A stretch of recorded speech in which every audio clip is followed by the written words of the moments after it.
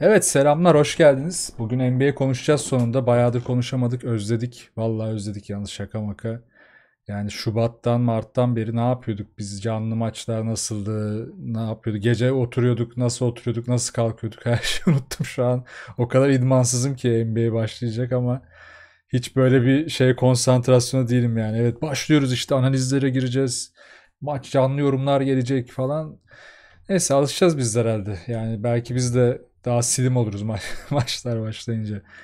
Şaka bir yana her şey e, iyi gitmiyor bence NBA'de ama bir yandan da e, bence bir, bir şekilde bitecek. Bu bubble bitecek. Ona ben ikna oldum. Düşecekler, kalkacaklar. İ- şikayet edecekler. E, virüsler çıkacak. Gidenler gelecekler. işte ayrılanlar bilmem neler olacak. Ama bu iş bitecek. Çünkü artık pek geri dönüş olmayacak bir duruma doğru gidiyor. Tabii burada oyuncuların biraz da tuhaflıkları aslında Bubble'ı başlattı. Bugün biraz NBA gündemi de konuşacağız ama öncelikle tabii ki Orlando Bubble'ı ana konumuz. Sonra NBA genel gündeminden de birkaç habere değineceğim. Geçmiş haftalardan da kalanlar var. Onları biz canlı yayınlarda konuştuk. e, Twitch'te ve YouTube'da ama videolarda konuşmamıştım. Zaten bu gündem yayınlarında artık video olarak daha düzenli atacağım kanala. Her hafta görüşeceğiz yani. Peki Bubble'da neler oluyor? Öncelikle şunu söyleyeyim. Mattis Tybal ve Ceval Megi çok güzel iş yapıyorlar. İk- de vlog yapıyorlar. Hatta Tybal daha da e, pro bir iş çıkarıyor. Helal olsun. Bayağı hani e, temposu ritmi de güzel. Ceval Megi biraz da ya ailemden ayrılıyoruz mutsuzuz bro ne yapacağız tarzı yapmıştı. E, Tybal daha e, detaylı daha eğlenceli bir iş çıkarmış. Onun dışında işte Terence Ross'un attığı videolar işte J.R. Smith'in diğer oyuncuların storyleri e, vesaire bir sürü kanalda toplanıyor. İşte e, Switch Daily'de, Jimmy Ballers'ta falan bunlara bakabilirsiniz. Bunları toparlayıp basıyorlar. Ve hep içeriden gördüklerimiz hemen zaten artık hepinizin alıştığı o yemek şikayeti oldu. Ya yemekler aslında gördüğüm hani kötü değil. Ee, Birçok kişinin belki de hayatında ulaşamadığı yemekler var yine orada. Hani sağlık kalitesi, protein seviyesi, karbonhidrat seviyesi olarak düzgün bir oyuncunun belki de alması gereken şeyler ama tabii sunum şekli plastik bir kutuda muhtemelen beklediği için daha kuru, e, daha e, tatsız belki de işte hani çok çünkü büyük sayıda çıkıyor. Sonuçta bir takım için özel şefi, özel aşçıları bilmem neleri varken onlara özel sayıda belirli miktarda yapınca tabii daha kaliteli bir iş ortaya çıkıyordu. Ve istediklerini yememek tabii o da ayrı bir konu. Biraz şikayetlendir ama alışacaklardır. Zaten NBA yönetimde kalitenin artacağını söylemiş. Yalnız şey çok ilginç. E, Çatal vermeyi unutuyorlar. Tybal'a vermemişlerdi. O çok komikti.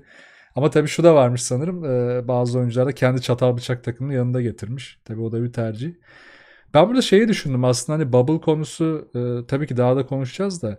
Mesela Furkan için iyi bir fırsattı. Yani ben bu özellikle Tybal'ı görünce genç bir oyuncu olarak Furkan'ın da kendini tanıtması özellikle sosyal medyada da hani çünkü NBA oyuncusu olmak artık 360 bir şey. Yani siz oraya gittiğinizde sadece sahadaki istatiniz, var olmak sizin için çok karlı değil. İleride yapacağınız sözleşmeler, takımların size sosyolojik olarak piyasa, market piyasası olarak ne sunacağınızı bilmeleri falan çok önemli. O yüzden hani burada kendini tanıtması için e, YouTube'da bir kitleyi kazanması için Twitter'da, Instagram'da bir kitleyi kazanması için çok iyi fırsat vardı. Keşke Furkan da böyle bir şey yapsaydı. Belki de hani bunun için e, daha iyi PR danışmanları, belki daha iyi dijital, e, belki de daha da genel bir marketing yöneticisine ihtiyacı olabilir. Bilmiyorum. İleride umarım buna da bir el atar. Bence Furkan için iyi bir fırsattı, kaçırdı. Onun dışında oyunculara devam edersek Bubble tarafında bir Ramazan paketi vermişler. Evet Ramazan paketi bayağı böyle içinde şekerler, çikolatalar, işte kaymaklar, börekler, çörekler var. E yani hani sıkılmayın arada fındık fıstık da yiyebilirsiniz tarzı bir şey olmuş. Ya işte hoşluk. Tabii ha bir de bir kutuda şey var böyle yani elektroniğin falan olduğu. Yani işte böyle iPad standı, dijital hoparlör bilmem ne ıvır kıvır böyle bir sürü şeyin oldu işte blan- şeyler e, battaniyeler bilmem neler bornozlar falan öyle bir paket de var. Tam böyle balayı paketi gibi. Odaya gelmişsiniz bir tek yatağınızda şey yok havludan kuğu yok. Yani neyse onu da artık oyuncular e, kuğuyu dışarıdan çağıracaklar. Ya Gökhan Zan bunu halledebilirdi. Neyse. Onun dışında tabii e, sorunlar da hemen başladı. Söylenmeler bilmem ne ama içeride tabii bu kadar adamı tutmak biraz şeye benzemiş. E, bir lisede yaz kampı havasına benzemiş. mutlaka birileriniz de yapmıştır lisede. Şunu şunu yapmışsınızdır. Yani dışarıdan yemek söylenir. Bir 30-40 kişi bir araya gelinir. İşte 80 lahmacun söylenir mesela. O böyle dışarıdan gelir. Hayvan gibi yersin. Dürüm söylersin falan. Biz Kavataş'ta yapıyorduk yani. Ara sıra oluyordu böyle şeyler. Rich, Richard Holmes da bunu yapmış.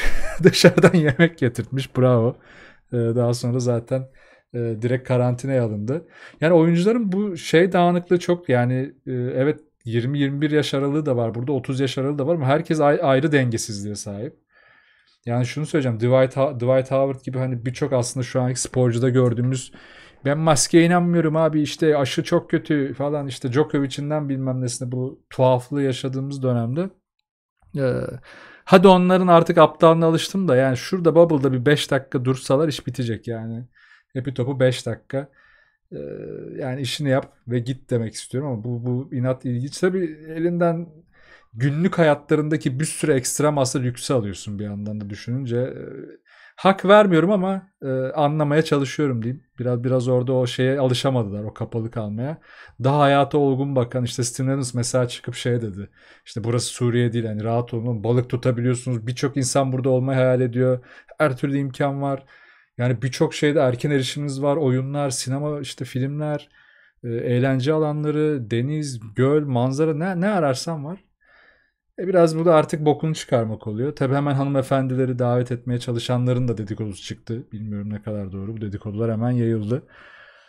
Ama e, belki de en eğlencelilerinden biri bu hareketlerin içinde bir akşam şikayet gelmesi ve Jimmy Butler'ın odasında e, dribbling yaparken, top sektirirken bulunması oldu güvenlik e, tarafından. Yani sağ var ama işte Jimmy Butler ne bileyim vardır. Bir cinsliği vardır. Gece herhalde e, unutamadığı bir sevgilisini falan hatırladı. Top sektörerek kendini unutturmaya mı çalışıyor ne yapıyor bilmiyorum. Mesela onun dışında daha eğlenceli geçirenler var. Rudy Gobert Twitch'te yayın açıyor. Merak ediyorsanız Rudy Gobert diye aratın.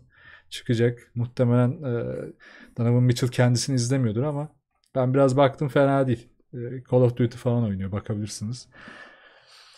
Başka neler var Bubble'ın içinde? Tabii bir ton bu olumsuzluğun dışında şu an hani sonradan virüsü kaptı söylenenler oldu. Gel, gelip e, gelmeden önce bu haberi verip karantinaya tekrar alınanlar oldu. İçeride kapanlar oldu. Bu zaten ayrı bir muamma yarattı. Ama en son işte dün Shams Kanarya bir tweet attı. 13 Temmuz'dan beri e, en sonunda e, 346 oyuncunun tamamında yani içeride test yapan 346 oyuncunun tamamında ilk kez sıfır e, virüs pozitif virüs çıktı. Bu herhalde artık biraz biraz toparlandığını gösteriyor. Zaten maçlar başlayınca dışarıyla iletişim iyice kesilecektir. Ee, çok dikkat etmez ama zaten burada asıl sıkıntı oyuncuların hadi oyuncuların evet yani zarar görme ihtimali tabii var tabii ki var ama koçların işte yaşlı koçların durumu daha da sıkıntılı. Onlar için çok büyük bir tehlike yaratıyorlar. Varsa orada yaşlı yöneticiler, yaşlı diğer e, insanlar üzerine daha da e, ciddi bir sıkıntı yaratıyor. Oyuncuların biraz da bu ciddiyete gelmesi lazım diyeceğim ama işte Dwight Howard gibiler de orada takılıyorlar yani. A- aşı yalan abi, aşı aşı olmaz abi diye bağırıp çağırıyorlar. Ee, tabii vazgeçen oyuncular vardı. İşte Bradley Beal gelmeyeceğim dedi. Avery Bradley gelmeyeceğim dedi. Onun dışında birçok oyuncu daha gelip gelmiş. İşte ameliyat olanlar oldu. Kyrie zaten sakattı gelmedi. Durant iyileşti ama yok gerek yok daha dedi. Bunlar artık geride kaldı. Ee, son eklemeler yapıldı. Artık takımlar aşağı yukarı ne yapacağını, nasıl oynayacağını belirledi ve işte burada bence şu ortaya çıkıyor artık.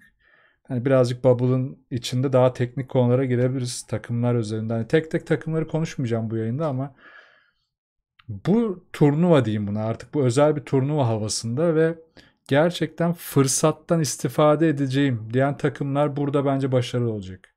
Ha bu şampiyonluk olmayabilir ama normal sezon bitseydi ve ardından playofflar oynansaydı gelebilecekleri yerin daha üstüne gelebilir, gelebilir bazı takımlar. Kim? Mesela Orlando. Ee, yani şu an hiç kaybedecek bir şeyleri yok. Ne yapacakları belli değil. Bir anda abuk subuk bir şey yapabilirler. Toronto. Kaybedecek hiçbir şeyleri yok. Oklahoma. Kaybedecek hiçbir şeyleri yok ki. Hepsinden iyi takım bence bu say. Şimdi iki, Orlando ve Toronto'dan. Ne yapacakları hiç belli olmaz. Dallas keza zaten e, Doncic ve Porzingis inanılmaz moralliler. Takımdaki e, hava çok iyi. Cuban özellikle şimdi biraz ileride değineceğim. Takımla zaten bu sinerjini medya üzerinden, siyaset üzerinden de yaratıyor. Ciddi bir hani e, bu tarz yani biraz şey geyi olacak böyle. Bu tarz takımlar turnuvayı sever abi değil de hani bu tarz küçük hareket alanlarında e, ani çıkışları, ciddi fırsatları yakalayabilecek havaları olan takımlar bunlar. E, keza işte burada yine benim hani tam öyle olmasa da Houston yine bir birçok kişinin de aslında bence gizliden gizliye içten içe içine attığı bir favori. Zaten Houston'ın sezon içinde ne yaptı diye bir videosunu yapmıştık. Onun da linkini buralara bir yerlere koyacağım.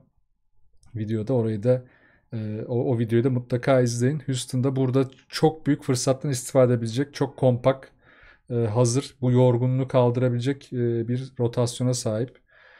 Aslında Philadelphia'da Ryan Brokoff'u ekledi. O da biraz rotasyonunu özellikle kanat şutör rotasyonunu genişletti. Ee, ve Ben Simmons tabii ki yine oh, pardon.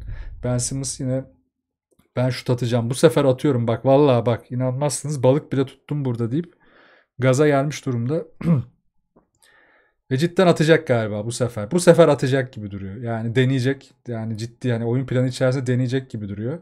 Ve bunu da bence yine de onu e, hücumda bir numara opsiyonu olarak kullanırken değil daha uzun rotasyonda yani 4-5 taraflarına kaydırırken e, işte şey Embiid sağda olsun olmasın daha 4 ya da 5 rotasyonlarında e, boyalı alanda hücumda başlayıp takılırken dışarı çekilerek ben yine bu şutu kullanacağını düşünüyorum. Bakalım nasıl olacak ee, ya da yine bizi yiyecek ve biz de yine burada aptal durumuna düşeceğiz. O da ayrı bir konu. Ya ben az inanmıyorum kendisine ama bu sefer bir güven ver. Nedendir? Çünkü ben de diyorum ki şu an kaybedecek hiçbir şey yok Philadelphia'nın da. Ve biraz daha aslında gizli kalan e, çok aslında bir belirgin sezon içindeki gidişi ritmi de belli olmasına rağmen kendini biraz daha saklayan çok fazla malzeme vermeyen dışarıya bir takım da Boston.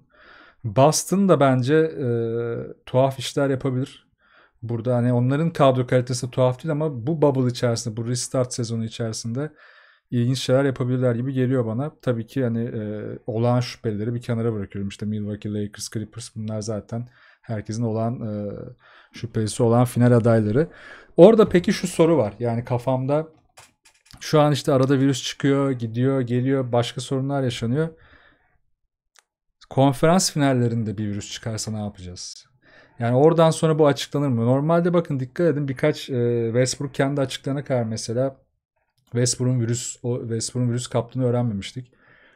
NBA bu tarafta oyunculara susun artık buraya geldik bir şekilde çözeceğiz der mi? Ya bu riski herkesin taşımasına izin verir mi? Yoksa oyuncu bunu öğrenirse kendi içinde saklar mı? Bu testler yapılıyor ama testlerin ben kendi e, iç kısımda da ne kadar public döndüğünü bilmiyorum.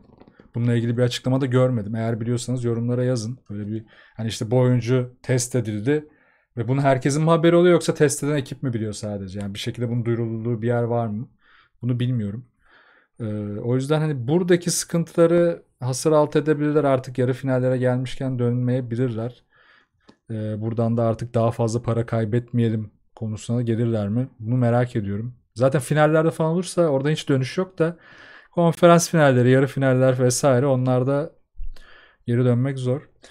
Bir de bu süreçten bir çıkarımım da şu oldu açıkçası. Ee, birçok oyuncu fit döndü. Yani bunu konuş işte yok içi gördü herkes. Önceden fotoğrafı düşmüştü. Carmelo bile fit duruma geldi. LeBron incelmedi ama daha da şey robotik duruyor. Boston Dynamics'ten 75 alacağımız 75 bin e, dolarlık robottan daha iyi duruyor yani LeBron James. Bu, bunu bunu şeye bağlıyorum biraz yani çünkü oyuncular genelde yaz sezon biter, yaz gelir, bir tatil dönemi, sonra geri dönüş, o rehavet, o rahatlama özellikle de hani hedeflerine ulaştı, ulaşmış bir takım ve oyuncuysan o rahatlamayla beraber geri dönüşün, idman tempon, e, sakatlanmamak için bir rejenerasyon süresi geçirmen gerekir. Bunlar biraz oyuncuları sanırım sezon aralarında yıpratıyordu. Şimdi ne oldu? Oyuncular zaten idmanlıydı idman temposu içindelerdi ve bir ara oldu. Ve bu aranın sonucunda şu tedirginliğe sahipler. Yani her an bir şey yani her an dönebiliriz. Mayıs olabilir, Haziran olabilir, Temmuz olabilir derken Temmuz sonu oldu. Ve bu bence bu durum oyuncuları hazır idman temposu içerisindeyken zihinsel olarak da fiziksel olarak da hazırken bu çalışmalara itti ve daha kolay yaptılar bunu. Ve hepsi de çok ciddi fit hale geldiler. Harden da keza. Ee, daha da slim bir hale geldi. Bu aslında kütle kaybetmekten çok aslında vücut e, mobilitesini, vücut e, şeyini, dengesini değiştiren, vücut kas dağılımını daha iyi hale getiren varsa yine de tabii ki fazla yağları illaki olabilir. Bunlardan kurtuldukları bir dönem oldu. Bu bu aslında ileride acaba işte bazı e, sanırım bunu açılış ligi, kapanış ligi tarzı ligler ne kadar ara veriyorlardı hatırlamıyorum ama işte sanırım bu Brezilya'da vardı. Ya da Arjantin'de vardı. Karıştırabilirim yazabilirsiniz. Buralarda biraz daha ara vermek, oyunculara bu tip bir hazırlanma dönemi vermek, belki playofflardan önce ya da işte sezon dağılımında maç sayısını azaltıp böyle aralar vermek oyuncular için daha iyi olabilir mi? Oyuncuları belki de bir döneme kapatıp o dönem içerisinde yiyip için sonra çalışın gelin demek yerine uzun vade bu birçok spor için de olabilir. Daha iyi olabilir mi? Şu an merak ediyorum. Çünkü bu sürece ara ver, yeniden başla, ara ver, yeniden başla şeklinde gitmek şu anda daha faydalı gibi. Tabii bunu spor bilimi yani bilimsel tarafta, fizyolojik tarafta doktorlar, e, fitness hocaları yani fit, aslında fitness, fitness tarafına bakan aslında fizik, insan fiziğini inceleyen doktorlar vesaire bunlar daha iyi e, buna karar verebilirler ama benim hissiyatım, benim gördüğüm en azından bu süreçten bu oldu. Çünkü oyna oyna oyna büyük bir ara ver geri dön. Birçok oyuncuya yaramıyor ama oyna oyna ara oyna oyna ara kısmı birçok oyuncu için şu anda daha iyi gözüküyor. Ya tabii bu tamamen virüs psikolojisi de olabilir. Yani evimize kapandık çalışmalıyız işte şey yapalım kafamızı dağıtalım buraya odaklanalım oyuna odaklanalım biraz daha psikolojik bir konu da olabilir tabii bu onu bilemem eğer öyleyse de zaten çok da tartışacak bir konu yok. Evet Bubble ile ilgili haberler böyle. Ee, onun dışında tekrar bakıyorum notlarıma hani söyleyeceğim ekstra bir şey var mıydı diye. Ee, yok. Yine haberler çıktı. Çıkarsa haftaya konuşuruz. Dediğim gibi vlogları daha takip edin. Matt Stable ve e, Ceval Megi'nin vlogları bayağı akıcı. Onun dışında yine işte belli bir sürü YouTube kanalı oyuncuların e, attığı storyleri, videoları derliyor. Onlara da bakabilirsiniz. Biraz da haberlere bakalım. Geçen haftalardan kalan birkaç tane haber var. Ee, yani çok detay detay habere girmeyeceğim de benim üzerine konuşmak istedim. Birinci haber aslında daha e, formalarla ilgili. Jordan brandi seneye statement formaları çıkıyor ya takımların. Statement formalarında Jordan logosu olacak ve tasarımı da Jordan brandi yapacak. Biraz daha renk tonu e, işte Jordan ayakkabılarında, Jordan ürünlerindeki renk tonları, isimleri vardır ve bunlar nettir. Yani o bir mavi hepsinde aynı mavidir. Ya da bir turkuaz hepsinde aynı turkuazdır. Bütün ürünlerinde. Biraz daha formalarda sanırım bu tonlar kullanılacak. Yani bir noktada daha modasal bakarsak konuya işte oradan bir Jordan ürünü aldığında ve bir Jordan brand forma aldığında daha uyumlu bir giyim tarzı yakalayabileceksin. Bu ilginç. Yani önceden sadece Charlotte hani Jordan brand Jordan'ın da zaten sahibi olduğu için Charlotte tarafında uygulanmıştı. All Star formalarında uygulanmıştı. Ee, sanırım yine e, deniz aşırı maçlarda Jordan ürünleri takımlara verilmişti. Şimdi bunu yapmaların nedeni biraz ben aslında şu anki Jordan ürünlerin çılgınlığına bağlıyorum. Özellikle belgeselden sonra. Belgeselden önce daha az satılan işte Jordan 1, Jordan 1'in böyle 3 modeli vardır. High dediğimiz o standart bilinen model. İşte mid dediğimiz daha orta uzunlukta, yükseklikte olan model. The low dediğimiz hiç dil yani bilek kısmı olmayan daha alçak modeli. High her zaman çok yüksek talep görürken high modeli. Mid ve low yani işte çok özel bir tasarım değilse, limited bir edition çıkmıyorsa kalır yani alırsın bir şekilde alabilirdiniz. E, Nike'ın sitesinde, işte dükkanlarda ve sneaker dükkanlarında vesaire bulup alabilirdiniz. Şu an çıldırdı insanlar. Peynir ekmek gibi gidiyor. Jordan 1 mi? Ver abi. Ne o? Ver. Hiç renk, menk hiç umurda yapıştır. Biraz bence bunun hype'ını yakalamak istediler. E, güzel. Bakalım e, buradan çok güzel formalar çıkabilir. Eğer NBA formalarını takip ediyor ve seviyorsanız bunlara seneye bakın. Hatta Atlanta ilk formayı duyurdu. Ona da bakabilirsiniz. Ben renk tonunu çok beğendim. Onun dışında tabii ki e, Mark Cuban ve e, Wojnarowski'nin siyasilere saplaması gündemdi geçen haftalarda. Cuban e, özellikle Ted Cruz'a işte Ted Cruz'un e, yaptığı açıklamada işte ya işte sizde milli maçlarda hep böyle eğiliyorsunuz bu saygısızlık kardeşim dedikten sonra bunun amacının ne olduğunu anlamadıkları için burada bir açıklama yaptı e, ve dedi ben onları eğilse ben de eğilirim hadi bakayım sizde var mı benim kadar e, altılı yumurta kutusu dedi. Böyle bir çıkışta bulundu. E, tabii bu da böyle bir sinerji yarattı. E, Cuban hep böyle gaz bir adamdı ama tabii bunu yapması değerli. Özellikle de böyle bir süreçte oyuncular zaten Bubble'a girerken Orlando Bubble'ına bu Black Lives Matter olaylarından dolayı da mutsuzlardı. Şu anda biraz takımını da hani bu sinerjinin içine sokuyor. Hani Cube'un zaten e, duruşu biraz daha bu konularda ama tek kızdığım konu tabii keşke bu kadar sert duruşu zamanında e, back office'ten çıkan e, tacizlerde keşke bunu daha erken bularak da gösterebilseydi ama yapmadı ya da yapamadı bilmiyorum. Wojnarowski ise e, Missouri senatörü Josh Hawley'nin ya işte siz formalara da biz mavileri seviyoruz e, şey yapın e, polisin de yanındayız diye niye metin eklemiyorsunuz? Sadece e, siyah hayatı mı değerli kardeşim? Herkesin hayatı değerli tarzı kırmızı hapçı açıklamalar yaptı. Wojnarowski de Woj Kral da kendisine fuck you diye mail atmış. Tabii ne demek fuck you? Hadi oradan gibi bir şey yani. Yapma hadi oradan be. Kötü adam, pis adam hadi oradan. Hayır sen e, olmaz o kötü insansın sen tarzı bir kelime aslında çok ağır bir şey değil fuck you. Bunun üzerine e, hemen tabii ki senatör de gaza gelmiş. İşte bana böyle dedi, bana, bana şey yaptı diye ağlayınca da e, ESPN'den bir süreni uzaklaştılar Wojnarowski. Kendisi de bir özür e, metni attı ama zaten yani Wojnarowski bu saatten sonra bir e, kanalda çalışsan olur, çalışmasın olur. O kadar büyük bir hype, o kadar e, büyük bir şeyi var ki kendisinin çevresinde bir hayran kısmı. Yani hayran demeyelim tabii de takipçisi var diyelim. Kendisine zaten yapacağı podcast'ı var. Bağımsız bir sitede de iş bulur. Bir ton yerde iş bulacaktır. Ben farklı çıkışına bayıldım o yüzden. Ya tabii bizim e, pek hayal edebileceğimiz bir çıkış olmadığı için biraz da belki de ondan hoşuma gitti bilmiyorum. Wojnarowski kralı da buradan selamlar.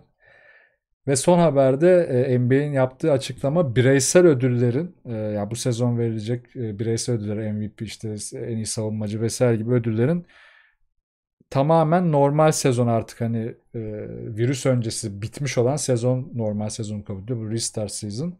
Normal sezon performansına göre verileceğini açıkladı. Yani artık burada e, Orlando'da oyuncuların ortaya koyacağı performansın bu ödüllere bir etkisi olmayacak. Yani orada oynanacak normal sezonun 8 maçının bir etkisi olmamasına karar vermişler. Bu bence doğru. Yani e, zaten playofflar işin içine dahil olmuyordu. Ha burada ne olur? Playofflar özelinde MVP ya da diğer MVP zaten var. Diğer ödüller olsaydı belki biraz daha faydalı olabilirdi. Daha daha belki onun üzerine durabilirler ya da ileride dururlar bilmiyorum. Güzel olabilir deyip e, haberleri tamamlıyorum. Bu kadar. Başka bir şey yok bu hafta için. Haftaya yine bir gündemi toparlayacağız. Orlando'ya bakacağız. Orlando ne oluyor? Zaten sezon başlıyor. Ufaktan hani e, zaten maçların analizleri gelmeye başlayacak. Analizleri dediğim gibi canlı yayınlarda devam edeceğiz. Onun dışında oyuncu analizleri de gelmeye başlayacak ufak ufak. E, hepsinden haberdar edeceğim sizi. Bu NBA gündemi videosunda e, ölmez kalmazsak her hafta yapmaya devam edeceğim. Gününü sabitlemedim henüz. Günü sabitlenirse haber veririm ama hafta içi gelir. Öyle düşünün. Kendinize iyi bakın. Görüşürüz. Bay bay.